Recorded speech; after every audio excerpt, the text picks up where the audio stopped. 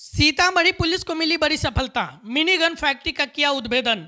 घर पर अवैध तरीके से निर्माण कर रहे अग्नेयास्त्र। तीन अपराधी को पुलिस ने किया गिरफ़्तार। सीतामढ़ी पुलिस के द्वारा बड़ी कार्रवाई की गई है। सहिहारा थाना अंतर्गत मिनी गन फैक्ट्री का एवं इटहरवा निवासी राजन राउत को गोली मारकर जख्मी कर देने वाले कांड का सीतामढ़ी पुलिस ने सफल उद्भेदन किया है। एसपी मनोज कुमार तिवारी ने प्रेस कॉन्फ्रेंस करके जानकारी दिया कि सहिहारा थाना अंतर्गत ग्राम डिहटी में मोहम्मद नसरुल्ला अंसारी द्वारा अपने पुत्र ओसामा अंसारी के सहयोग से घर पर अवैध तरीके से अग्नेयास्त्र का निर्माण किया जा रहा था। साथ ही साथ खरीद बिक्री तथा कुछ अपराध कर्मी लूटपाट व डकैती की घटना को अंजाम देने के लिए अवैध अग्नेयास्त्र की खरीदारी करने मोहम्मद नसरुल्ला अंसारी के घर पर पहुँचे।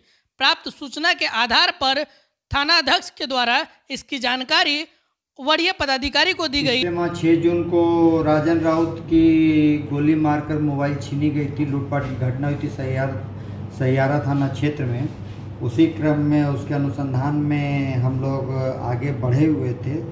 तो उसमें दो लड़के गिरफ़्तार, दो लड़के थे इन्वॉल्व थे रोशन और अनीस, जो कि इस घटनाक्रम को अंजाम दिया था उनकी भी गिरफ्तारी हुई, उस केस का उद्भेदन हुआ है। इसी बीच में एक सूचना मिली थी कि सैयारा थाना क्षेत्र के दहड़ी स्थित मोहम्मद नसरुल्ला के घर में कुछ अपराधकर्मी जमे हुए हैं, जो कि हथियार के साथ हैं और किसी बड़ी घटना को अंजाम देने के लिए हैं।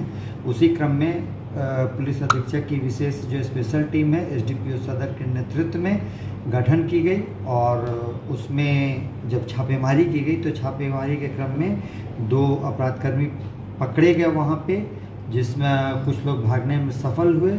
वहाँ से उनके पास से दो देसी कट्टा, पाँच राउंड गोली खोखा बरामद हुआ, उसके बाद फर्दर जाँच के क्रम में, फर्दर जो हम लोग उसी में छापेमारी किए तो एक मिनी गन फैक्ट्री का उद्भेदन भी हुआ।